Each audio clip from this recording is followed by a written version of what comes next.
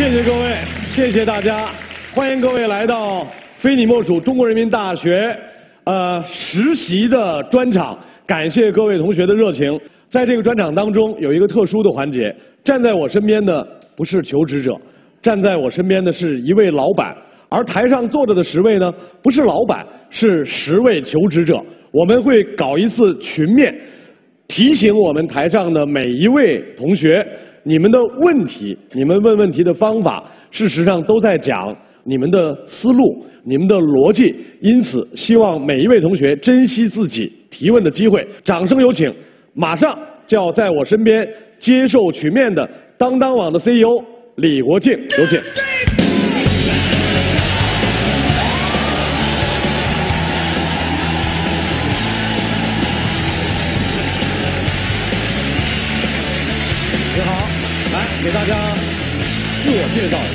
呃，大家好，我是当当网的 CEO 李国庆。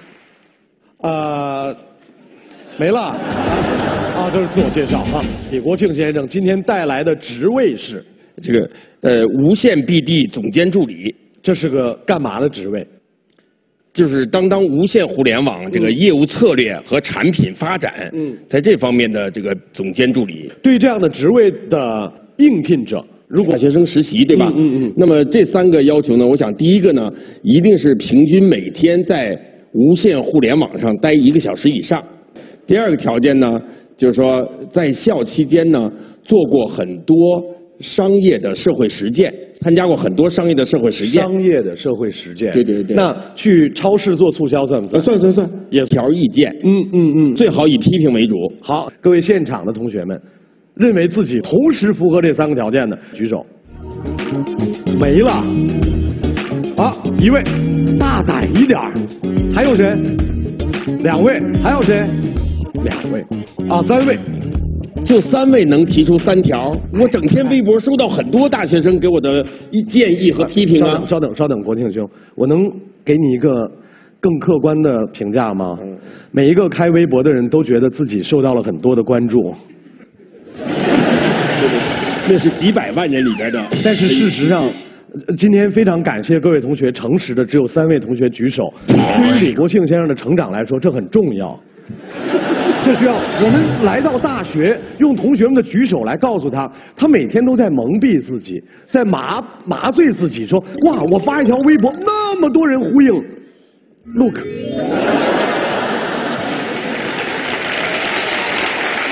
好，好了，好，各位，今天你们也不用紧张，因为今天要来接受群面的，不是在座的各位同学，而是台上的十位，十位同学，你们现在处于黑暗的状态，在听完了李国庆先生对这个岗位的描述之后，有兴趣亮灯来接受这个职位考察的同学，等等等等。是他们考察我，还是我考察他们？先他们考察你，再你考察他们。好好好，不太习惯被考察。对对对对对，会习惯的，会习惯的，会习惯的。以后常来，好吧？好啊好。啊，各位同学不用勉强，你们不用让李总继续麻醉自己。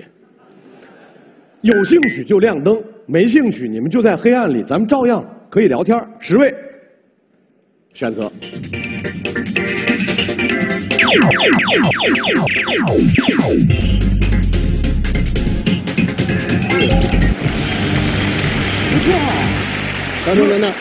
我我不想麻醉自己，我能问问，你们是对当当网友更有兴趣呢，还是对李国庆更有兴趣呢，还是对这个无线业务的 BD 总监助理更有兴趣？我这样，我随便问一位同学，好不好？嗯。我们这里面呢有一个位非常冷静的同学，这位同学呢是学法学专业的。王松华同学来自中国政法大学。嗯，坦率的讲，嗯，我因为我的专业的问题，所以对这个李总提供的职位，嗯，怎么说？我对这个职位的兴趣没有对前两者的兴趣大。OK。啊，就是对李国庆。因为今天我觉得我坐在这里还有一个使命，就是作为一个法律人的使命，所以我要亮灯，我要坐在这里。你的法律人的使命是你要揭批李总接下来所说的话里面所有的。啊，假的、恶的和丑的，对吗？我不敢这样说，但是呃，因为我之前关注过李总，然后我又是一个爱打抱不平的人，然后跟我一样。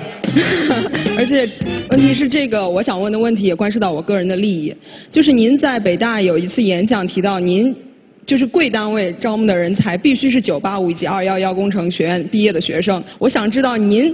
从这个里面，您是就看这个学校的牌子，还是您觉得这个学校出来的学生就一定有怎样的能力？或者我想反问您，一个非这些学校出来的学生，他们有很好的能力，在别的一个企业里做到了很好的职位，您到时候不会觉得很后悔吗？我上次上完以后，一片骂声到微博，那些不是二幺幺说，以后我们他妈就不到你们，以后我们要。骂我说以后我们就不去你当当网买东西，看二幺幺毕业的学生多还是非二幺幺多？哎呦骂的我这个我这么表述，我仍不改变我的立场啊。那么我微博我也耐心回复了一些人，应届毕业生呢，我们坚持呢二幺幺和九八五，像技术我们坚持九八五，这是本应届毕业生，非应届毕业生工作几年以后，我们就不再看这个学历。那么为什么这样呢？真的，这你慢点说，你现在有点不能自圆其说了。为什么我们这么选择呢？我我也知道，这个二幺幺的人才率都不一定比非二幺幺高哎。嗯嗯嗯。我我负责任说，因为中国这种应试教育轰上去的都不一定高，但是我想说呢。当进行大规模人这个面试啊、扩招啊、筛选的时候，他这是一个不得不用的门槛门票。二幺幺九八五啊，我个人来讲是喜欢招这种名校的这个学生，因为本身来讲，他们能做这个学校，就经历了层层的选拔，那么证明他有这种这个学习能力。非要要求二幺幺，我觉得这是非常愚蠢的。我自己是清华毕业的，我知道，其实，在清华的很多毕业生里面，也有不靠谱的，也有不合格的，而很多一般学校的同学，有的也非常优秀。让我们听一下俄语专业的硕士张景磊小姐。呃，您在选拔应届毕业生的时候，是更看重学历呢，还是更看重能力，还是专业，还是呃看重某些某种呃特在的一些潜力？啊，就是这样。我肯定更更看重能力。就是说您，但是遗憾的是，您是硕士是吧？呃，对。我在企业内部讲的观点是，我们作为商业部门，我们对是否硕士毫无毫不关心。真的吗？啊，硕士本科在我来讲一样。为什么呢？没用，就浪费国家教育资源。我们不需要硕士毕业。听到？底下硕士举手。正在在，你你看看看，你了解一下情况再说话吧。我说过很多次，不要不要打无准备之仗。各位同学，我觉得硕士非常好。我不是来，赵刚，哎，我不是来公关来了，我是来通过面试，我想把我的用人理念传达出来，不见得对。哎，我支持你一下。现场五字头的那位老板，啊，好像你也是对硕士的兴趣不大呀。我我相当有兴趣啊，对优秀的能力的人呢，一般来说啊，我说硕士呢，硕士有兴趣啊，博士我有兴趣。你对硕士和本科硕士优先吗？呃，相对来说会优先一点啊，优先多一点，百分之十左右吧。对，喂，人家多念了三年，你可是百分之十左右，我觉得大百分之。等等等等啊，我的选拔人数我们内部一点都不大。但是也不怎么，只要是硕士毕业，他就一定比本科毕业待遇高，这也是真的。他有职级职等规定。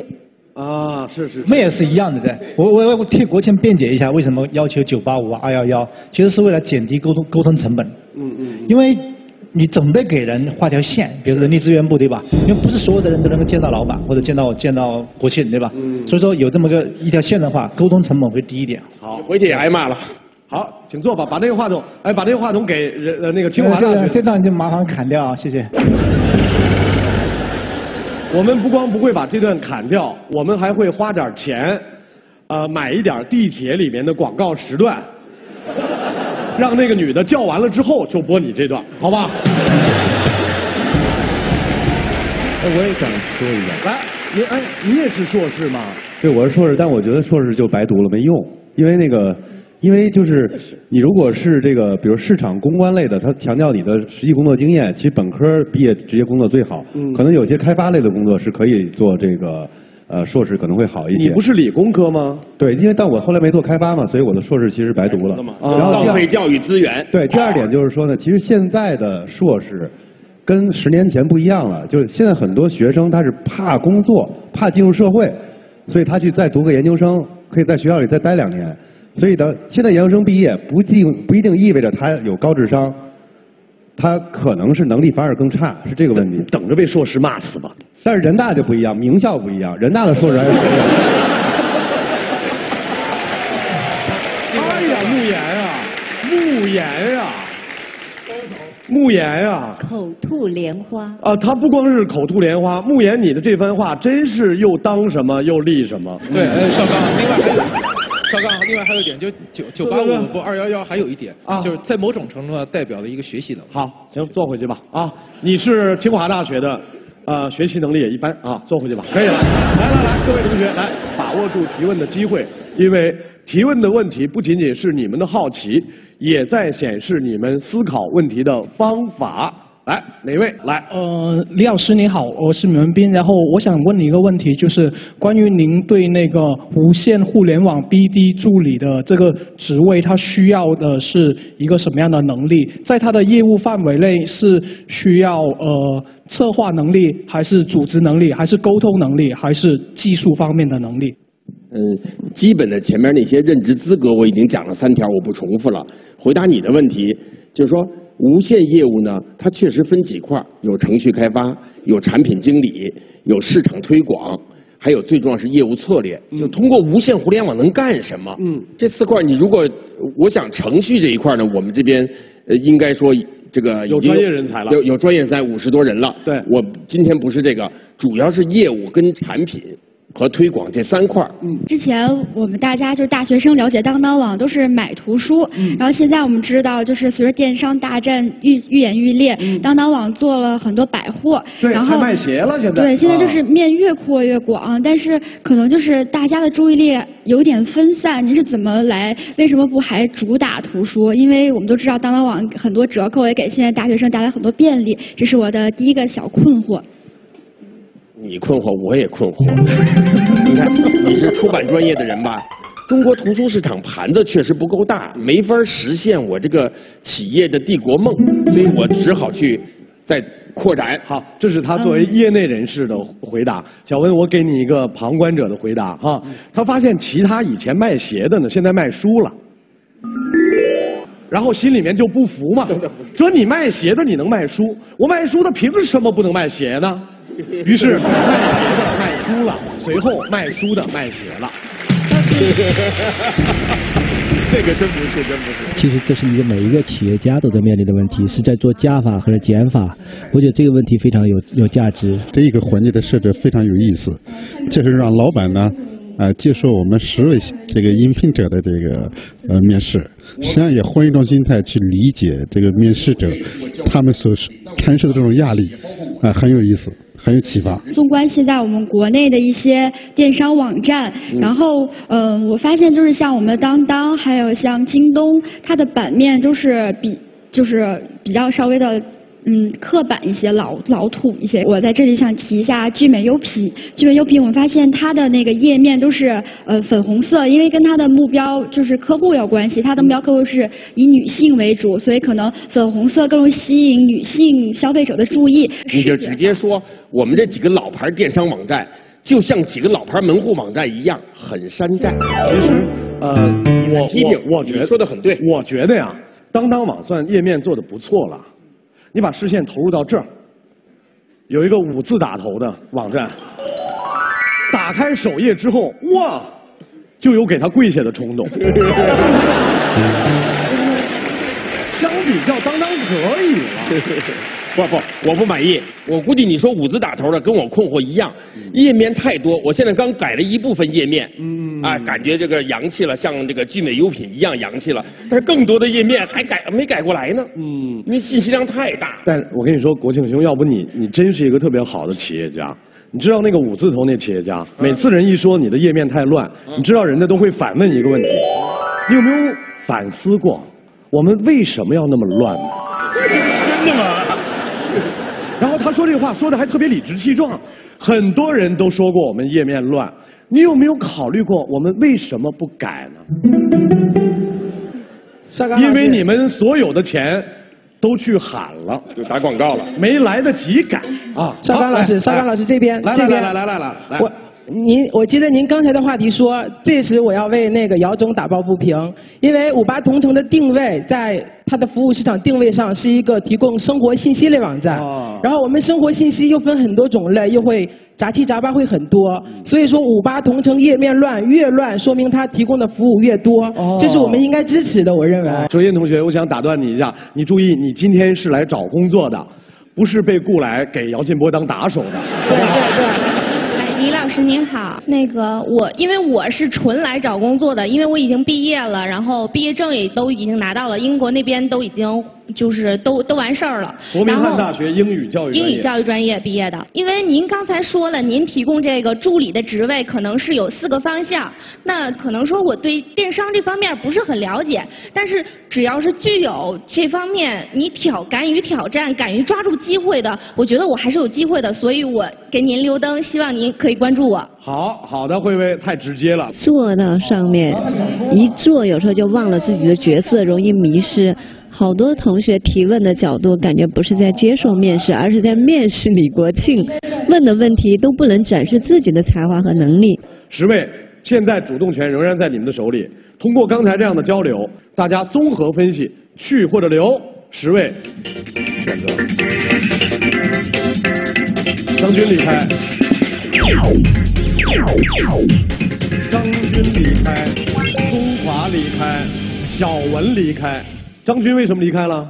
啊，我呢是学法律的，而且呢，我现在主要就是方向就是经济法、税法这一块儿，所以我想这个方面，呃，一个是我不太了解，另外呢，可能我这个呃专业的这个能力可能不能够呃比较符合李总关于这个人才的要求。好的，各有所需，同时学有所用。三位离开之后，场上现在还有七位。国庆兄，现在到了你提问的环节，那么。我刚才跟这个这个现场的嘉宾和观众我们聊起来，那么大家到底在无线互联网上，我是问大家所有的问题，无线互联网上平均每天要花你们多长时间？不管是看新闻、买东西都算。注意是无线互联网，来，婷姐。嗯，我觉得至少四个小时以上吧。哇，无线互联网啊！啊，对，就是我没有事情的时候，我就会拿手机看新闻。买过东西吗？呃，买过东西，就拿手机买。来，昭明。平均每天应该在三个小时以上吧。主要的我可能就是对电商啊上网的时间是更多的。比如说当当，我自己亲自购物。在无线网上买过东西吗？买过，而且经常的。在当当网无线当当网上呢？当当网上也是我经常的。用的哪个客户端呀？你是安卓的还是苹果手机啊？我就自己的安卓手机。安卓手机。张老师，我能我能提个疑问吗？虽然我灭灯了，但是我要为场上还亮灯的选手问个问题。就是到现在为止，呃，李老师您问的问题，尤其是第一个问题，怎么像在为当当做调查，尤其市场调查？这个如果要没有。我刚才说这第一个要求。尤其是您在不停的追问的过程中，我怎么觉得不再像为我们的实习选手提供这个实习岗位呢？呃，这个坦率说呢，我上节目不没没没没，我上节目是最不愿意提当当当当当当网的，所以好多编导都愿意找我。我老要哎，稍等，你你就如果你不愿意提，你就可以说我是最不愿意提当当网的。但是你为什么要不是你为什么要说我是最不愿意提当当当当当当网？这是我我看到很多企业家利用在电视节目上不讨论问题，老去刷广告，老刷你刷到最后编导咔咔咔都给你剪，没意义。我是也是节目油子了，是吧？但是今天面试，因为要讨论这个问题，我必须拿出这个当当网。松华，这个我这个我批评你一下，松华他刚才问的这个问题还是指向性很明确的，确实是啊，但是保有你冷静的质疑的态度啊，注意欢迎欢迎啊，假恶丑啊，假恶丑啊。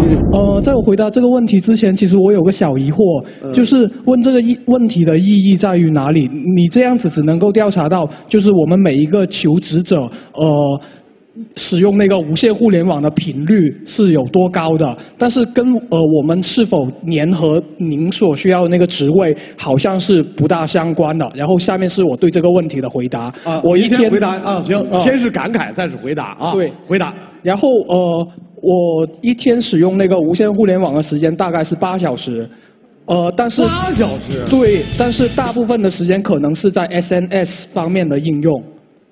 哦，啊，对，微信啦，朋友圈哦，谢谢。我要回答他的问题吗？呃，你可以不回答他的问题。嗯，真是你得让他的他刚才那个问题感慨也很好，嗯，就是说我们这个我已经好久不求职了啊。嗯经验难道就能建立洞察吗？就是说，大家面试，大家找工作，你老遇到这样的面试官，问你过去做过什么，做过什么，做过什么，有时候就掉入经验主义。嗯，比如人类学研究带学生，我认识一些人类学教授，就不愿意找本民族的人研究本民族，说汉族人研究汉族没劲，嗯，他没有 fresh 感觉，所以他说的观察是。有道理，有道理，有道理，有道理啊！来，慧慧。那李老师，因为你有微博嘛，虽然我没有关注你，但是我通过看一些文章知道您还挺火的，是吧？那您会聊天不会聊天什么叫是嘛？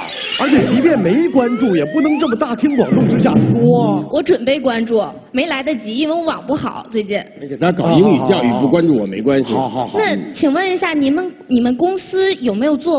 微博营销，因为我我就好久不在国内嘛，对这个国内市场可能稍微有一些不了解。但是说，就我所在的环境，我所在的那个城市啊，整个英国啊，它有很好的微博营销。然后大家都知道，中国人是一个很大的市场，好多哎外国公司啊都很在乎这方面。慧慧，我这赶紧打断你，因为你不能再减分减下去。这样的公司，这样的微博活跃者。怎么可能没有微博营销？所以你知道，我想说的是，那边微博营销哪里做得好？哪张？英国那边微博营销哪里做得好？那你就说哪里做得好？我想，但这不是这个题目，不是这个题目，不是这个题目。我想跟您交流。对于李老师的这个问题啊，其实并不在于回答上网多长时间，而是如果说你说在这个上五线的两三个小时里面能够发现。当当的无线应该怎么样去做？哪怕提一个建议，可能李国庆呢就会感兴趣了。主持人这样行不行？我我提这个一个更开放的问题，然后让他们谁愿意往上跳啊？谁愿意往上跳谁跳。那就是你要提的最后一个问题了。最后一个问题啊。那么 无线互联网呢？你看到当当有什么问题，或者你觉得还能给当当带来什么机会？啊，说产品改进也行，说体验的改进也行。想想一最好用一二三这么干干净净的，要不然这个时间不够了。来，小文。虽然我灭灯了，但是以我个人而言，如果我浏览电商，我可能比较关注像美丽说，就是在打发闲暇时间，我可以有很多浏览的空间。但是，呃，我们当当网做百货，我就不知道从哪个角度下手。所以我们可以，我认为，嗯，可以搞一些，比如说像一些排行榜，或者是嗯主题购物这样，就是嗯更符合一些无线购物。切入点，对不对？好的，谢谢小文的建议。那你把把灯给灭了。因为您刚才提到就是需要商业背景，我不做过商业社会实践。因为我之前学传媒的，整个就是四年的时间都是围绕着就是传播这个领域，所以我觉得可能跟您的要求有点不符合。当当网卖那么多书，还不是传播吗？本科是我。但你要求商业，我商业方面确实是我的软肋。我相信现在李国庆一定非常后悔，因为这个这个这个女孩表现确实非常优秀。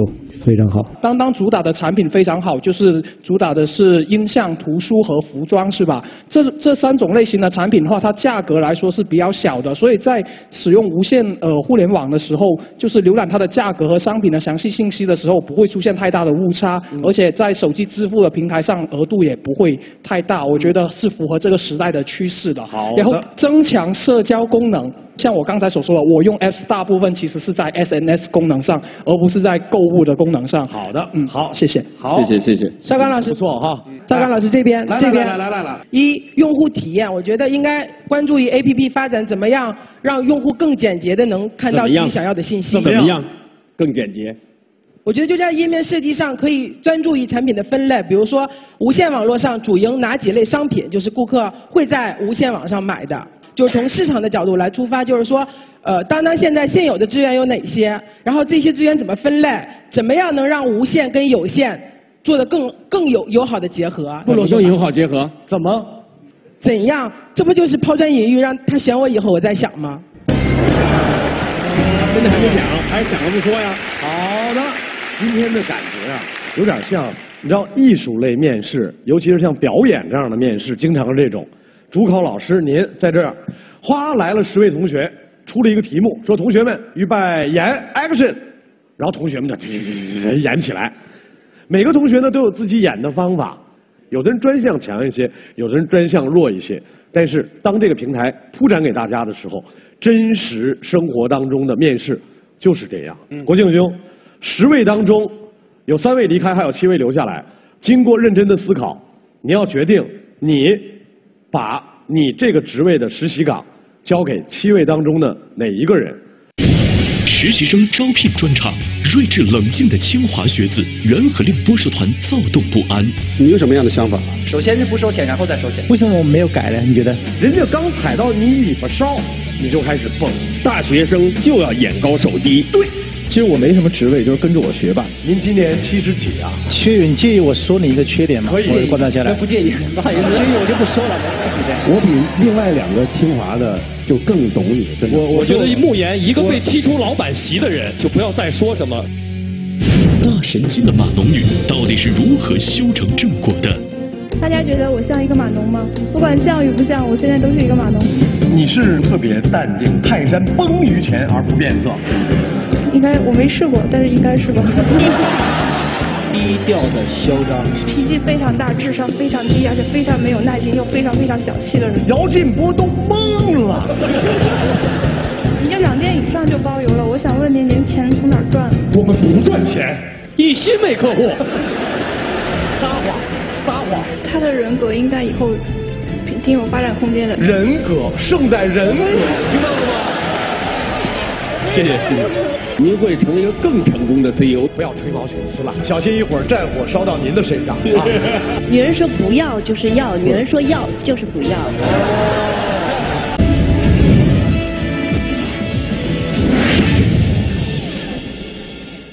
国庆兄，十位当中有三位离开，还有七位留下来。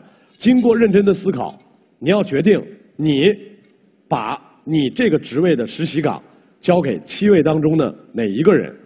利用你思考的时间，我们问一下下面的几位老板。李树斌，呃，如果要让你在这十个人里面选，你会选谁？我选的话，我可能会选这个，我觉得呃这边的呃这个学生。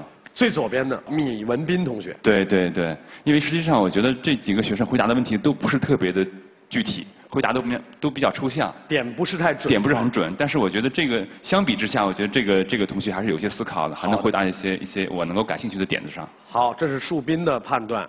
呃，姚劲波，我补充一个人呢，我觉得这个米不错，他分析到了互联网手机上购物一定是轻决策，这个点判断的很准的是。另外一个第二位。这个啰嗦，右手边第二位啊，他能够分析到五八网站为什么乱，说明他对互联网是有研究的，对。另外，另外他，谢谢姚总，谢谢姚总。他应该非常喜欢这个职位，我觉得作为一个实习生来说，特别喜欢这个公司，特别喜欢这个岗位，是做实习很重要的一点。另外对互联网也是有一定的认识的。好的，谢谢，自吹自擂。啊，刘惠普先生，在这十位当中，如果是你挑的话，你会？我一选还是米小米吧。也是小米。对对对，我觉得无线产品啊，偏 BD 啊，说话就像销售一样，一定要简明扼要。嗯嗯。话太多了，真的把技术人员都说晕了，把合作方也说晕了。但第二个，我喜欢今天第二位这个女孩子。王小就是小文同学。小文同学是这边灭灯这个女孩。是的。对，因为她特别爱聚美优品。谢谢。超刚，超刚，哎，就像那个自私的人啊，就像自私的人看见别人自私会特别恨。有的人在节目里特别话痨，话特别多。他看见别人说说话多，他也觉得特别难受。你就知道有的时候，有的时候今天观众看到了，没点他名都出来抢话。你现在知道节目中谁话多了吧？我用沉默来回答啊！你用沉默，你用话痨就不能跟他。你用沉默来回答。说完这句话之后，你就不能说话。你用沉默回答，谢谢。沉默，太好。来。李国庆先生，现在到了让您做出选择的时候了。首先，今天我出这个题目呢，通过这个看大家这个表达，就沟通能力，因为最基本的嘛。第二个呢，看大家那个商业的基本逻辑感。是啊，但是我特别爱看这个第三条，就是他对这个这个我们这个公司，哪怕对我也行啊，啊，当然不要对我了，最好对当当网的认同。嗯。哈，更 hungry 的要这个职位。嗯嗯嗯。那就在这一点上，我都不满意。在这点上都不是特别满意。对，好像我们同学有时候啊，没表现出来。就他也有的时候在那个位置坐着，他也不太好表现出来那种给予、那种可切。这个实习岗的薪金是，本科呢我们是两千八，硕士呢是三千五。好的，如果是本科两千八，硕士三千五，注意是实习岗啊。那接下来您就要告诉我们答案了，在剩下的七位当中，您的选择是。